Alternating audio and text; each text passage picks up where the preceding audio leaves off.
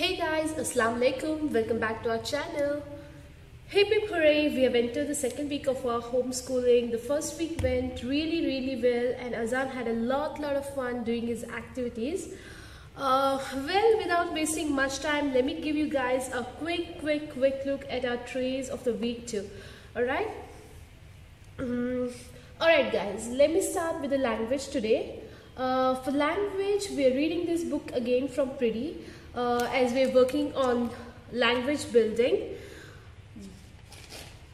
Also, uh, we'll be re reading another book which is uh, Animal Alphabet A to Z from DK. Again, uh, working on the vocabulary. Uh, this book was kept away for quite some time and I just took it out uh, as Azan easily gets bored while reading just one book the entire week and then reading it again for the corresponding week wouldn't be possible at all. Um, then we will be uh, going through our alphabet flashcards, uh, practicing the phonic sounds. Uh, I have stitched those, sorry, I, I switched the flashcards to lowercase ones for this week. Alright?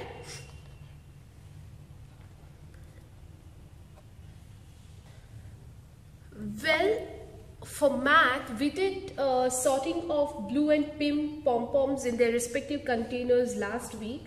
Uh, he did it pretty well, but sometimes he was uh, putting pink pom-poms in the blue container and vice versa.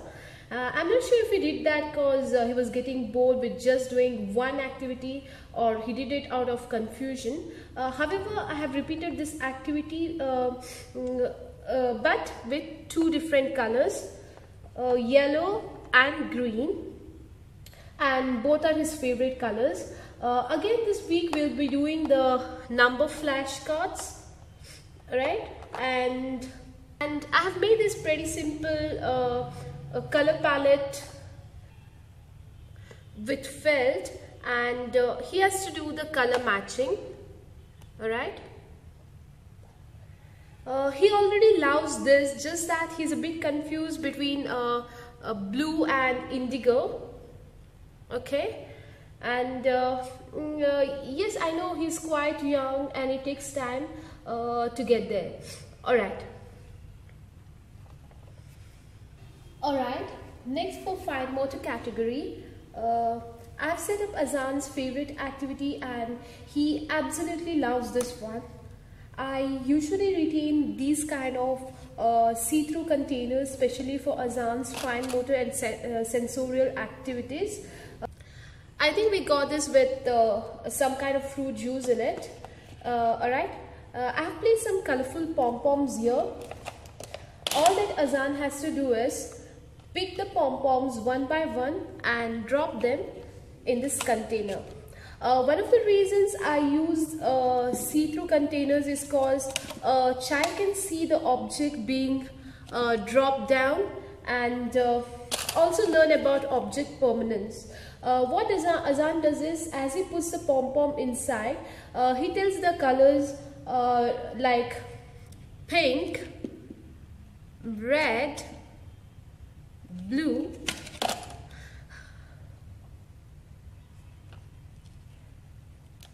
green and uh, mashallah that's how he does that uh, all right and he's so so so fond of pom-poms. Uh, i find them in all the awkward places at home under the pillows uh, under the furnitures in the laundry bin and where not. Uh, oh i find them even in the kitchen drawers and utensils. Um, all right so that's azan's favorite activity. And I have included another activity for, for uh, fine motor category. Uh, again, I have picked up a see-through bottle. He has to drop these colorful popsicle sticks one by one into this bottle. He will definitely enjoy doing this along with the pom uh, pom-poms, alright? Okay. Then Alright. Then for sensorial category, I have placed this nesting eggs which has a cute little yellow duckling leap inside. Okay, now I'm talking to you guys like how I talk to Azan. Uh, that's how it is, right? When you are working on your toddler's vocabulary and you're so into teaching shapes and colors, you often talk like, uh, give me the red ball, eat the circle biscuit. mm, Alright, uh, where was I? Okay, so Azan has to open the eggshells one by one and find the hidden duckling which is inside. Alright, and fix all the eggs back according to their nesting sequence. Um, next we have this roly-poly egg. Uh, we'll be playing with this and guess what? Uh, we'll be involving our four months daughter too uh, during her tummy time. Um, I'm sure we're to have oodles and oodles of fun with this activity. Then, then for practical life, last week Azan did the transferring activity pretty well. Uh, but he was getting kind of bored and throwing the beans all around the house and know, mm, and you know uh, he was just messing up the house uh, so I had a week of good exercise of picking up all the beans not once or twice he was doing it over and over again uh, he often came to me and asked for the tray um, yes, he's yet to get there uh, to tidy things up and keep the trays back. Uh, yet I encourage him to do that, which is one of the important aspects of practical life skills. Uh, so again for this week, I've kept a similar kind of activity uh, and I've kept these pom-poms here. All that he has to do is